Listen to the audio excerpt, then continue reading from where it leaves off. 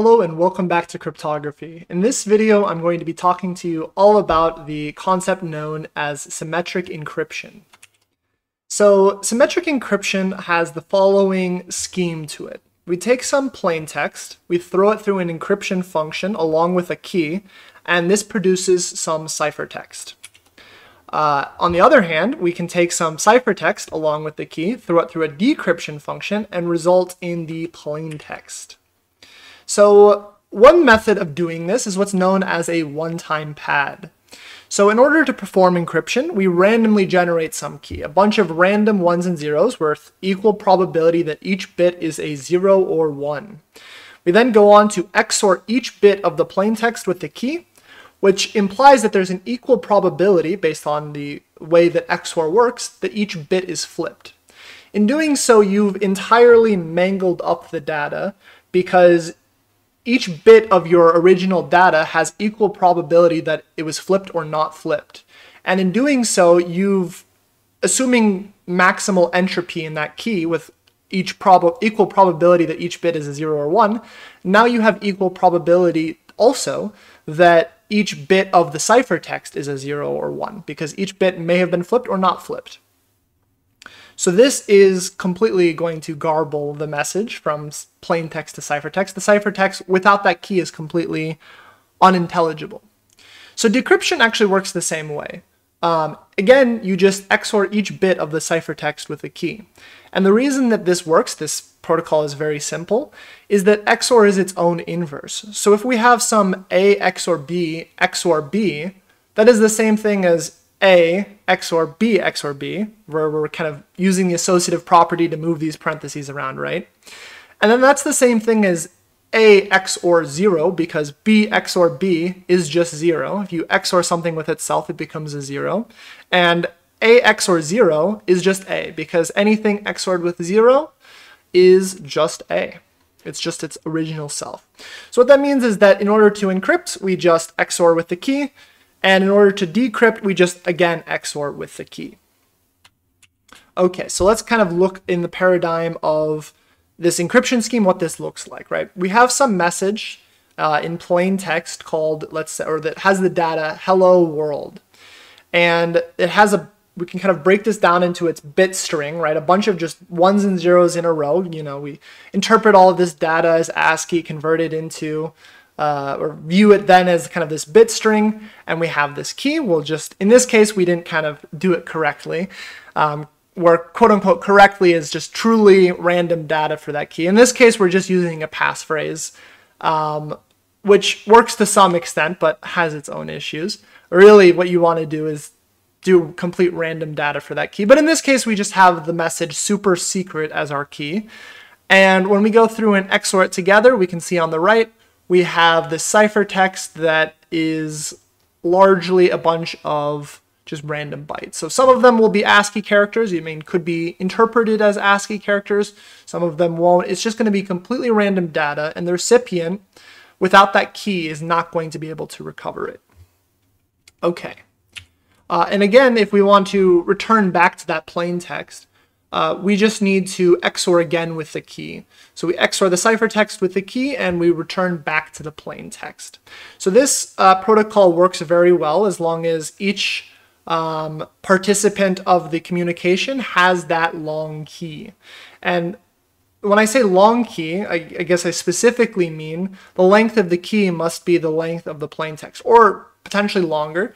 You could do shorter, but that means you're going to start repeating yourself as if that was the, the scheme that you would use. You could imagine, for example, some three byte key and you could just keep reusing the key, um, repeating it until you get through everything. But really to do a one-time pad correctly and not end up with a bunch of issues because it turns out if you start repeating the key, you could start doing like this frequency analysis stuff on it that allows you to decrypt. If you want true secrecy with this one-time pad, you need a bunch of random bytes that is as long as the plain text, or at least as long as the plain text, and then you go through an XOR with that.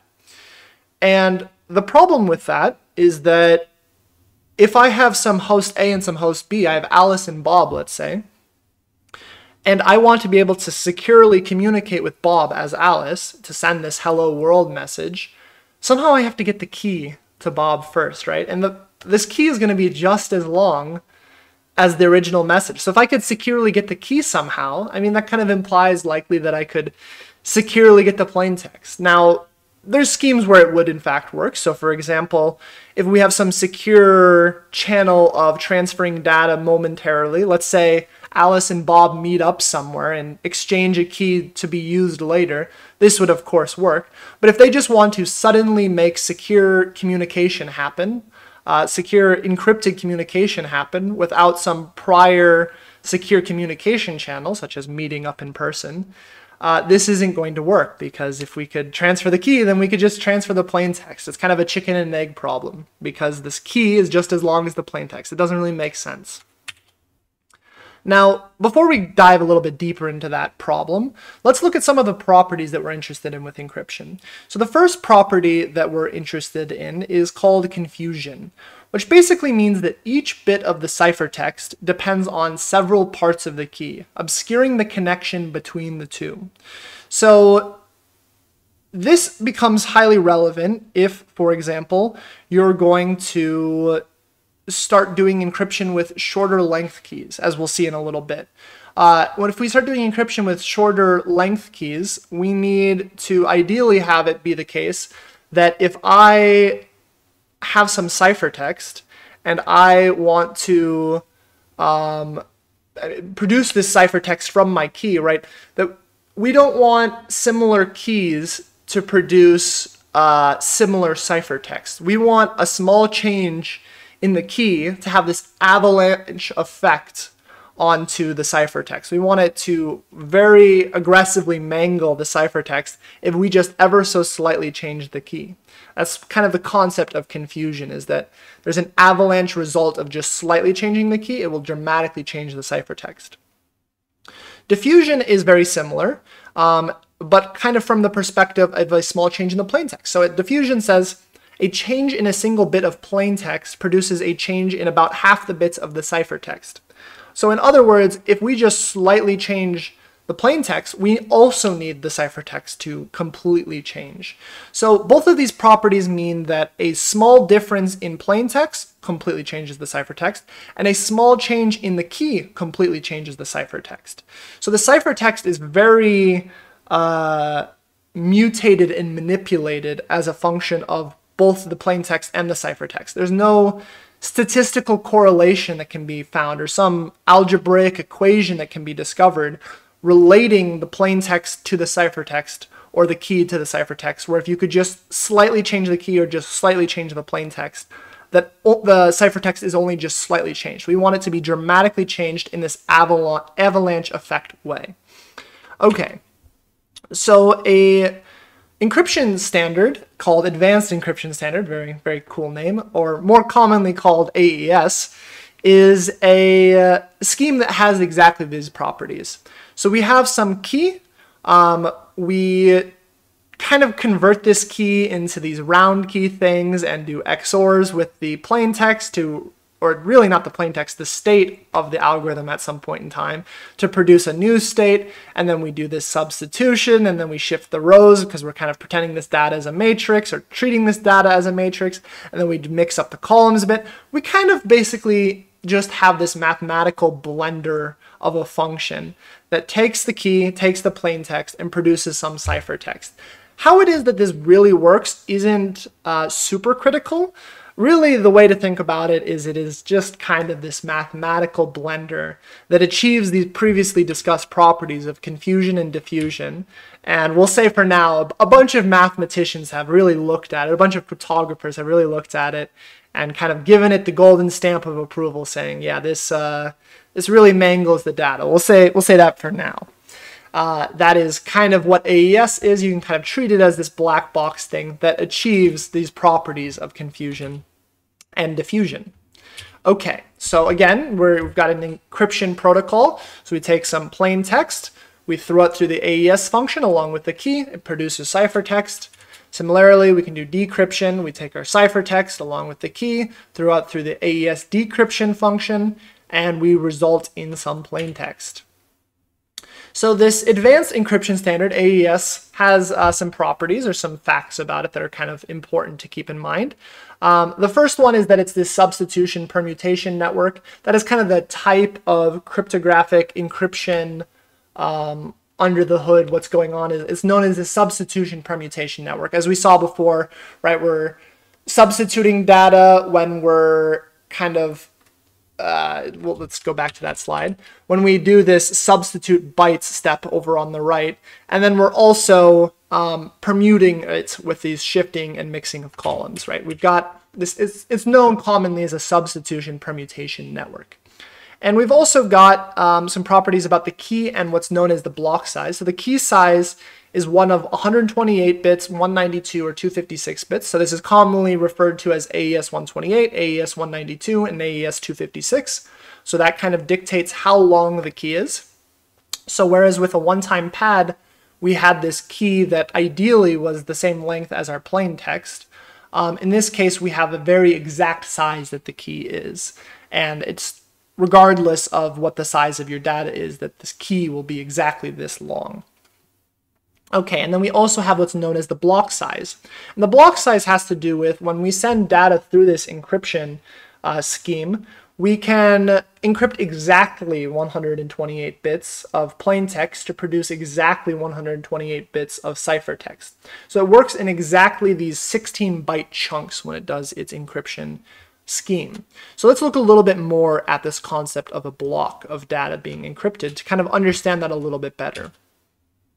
So in this case, we're trying to encrypt the message hello world, and we want to throw it through our encryption function to produce some ciphertext. And we've got this block cipher, we've got this block encryption scheme, and you can think of AES, right, as one of those. And when we go through to send this through, and if it's a 16 byte block size or 128 bit block size, we try and send this message here that's 13 bytes long, it's not going to work. We can't encrypt this because as we said, this encryption function works on exactly its block size, or in the example of AES, 128 bits, or 16 bytes. And this is 13 bytes. We can't encrypt 13 bytes. We can only encrypt 16 bytes. So this is no good.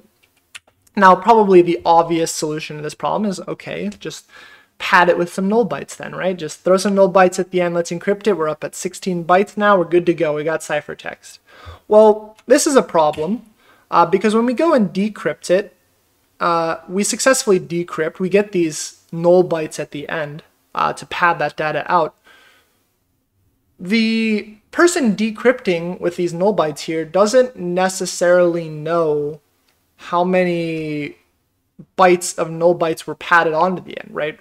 When you go to decrypt this, we don't know maybe those three null bytes were intentionally part of the data. Maybe we in fact were trying to transfer hello world with three null bytes at the end, or maybe just one null byte at the end. We're not really sure. This is kind of a problem. Now there's a very simple solution as well to this problem. And what the solution is to that problem is what's known as PKC number seven. So PKC seven. Uh, and what the solution is, is to just append how many bytes of padding are to the end. So rather than appending three null bytes, we append three three bytes to the end. So we have 030303 as hex, as we can see. And again, this puts us up to 16 bytes, so we can encrypt it no problem. We're working on 128 bits at a time, 16 bytes, and we've got three bytes of padding, and we just say that very explicitly at the end using this PKC7 standard, saying 333 because we've got three bytes of padding at the end. And now when we go to decrypt it, we're going to be able to analyze this text. We're going to see this 333 at the end. We're going to know there's three bytes of padding, and we are going to take that away and successfully return to the original plain text. Okay, so there's one other thing that we have to deal with. Again, right, we said we work on exactly these 128-bit blocks in the case of AES or 16 bytes. Well, what if we want to send more? In this case, right, we've got hello world, hello world twice which would be uh, 26 bytes of data. And in this case, we're going to um, pad that out to be a multiple of 16 bytes. So we're going to append an extra 6 bytes, right? We've got 13 times 2, 26 bytes, plus another 6 bytes to get up to 32 bytes, which is a multiple of 16. So we pad on these 060606 at the end. And now we've got kind of a multiple of 16 bytes, but we said that our encryption function works on exactly 16 bytes of data. So this is a problem. It's, again, very easily solvable, but this is an important thing to keep in mind, that these encryption functions work on exactly 16 bytes of data in the case of AES with a 128-bit block size. And what we do is we just split it apart. The simple solution to this problem is to just take the first 16 bytes, encrypt that, produce some ciphertext, go through, take the second 16 bytes, throw that through the encryption function, get some ciphertext. And now we've kind of just got these two encrypted blocks next to each other, um, and it's totally fine, right? We just send the, the first block encrypted, the second block encrypted, and we've got our uh, ciphertext then out would be 32 bytes, and then we could do the exact reverse and get that plain text back as well. Now what this is known as in doing this method of kind of just encrypting each piece block by block is what's known as the electronic codebook, ECB is what it's commonly referred to as. And as we said, right, we just take our 16 bytes, we encrypt it, we get our 16 bytes of ciphertext, we do this again on the next 16 byte block and then the next 16 byte block until we've done all of our 16 byte blocks. And the decryption is very simple, right? We just do the reverse. We just throw the ciphertext through with the key, we get the plain text, etc., etc. This is what's known as ECB mode of encryption. Now there's a problem with ECB. So this is kind of the famous uh, cryptographic penguin image that uh, kind of shows up in a lot of cryptography contexts that talk about this ECB mode. And what the problem is, is if we have a bunch of bits of data that are repeated all over the place. So in this case, we can see, for example, we have a lot of white pixels, a lot of black pixels, a lot of yellow pixels.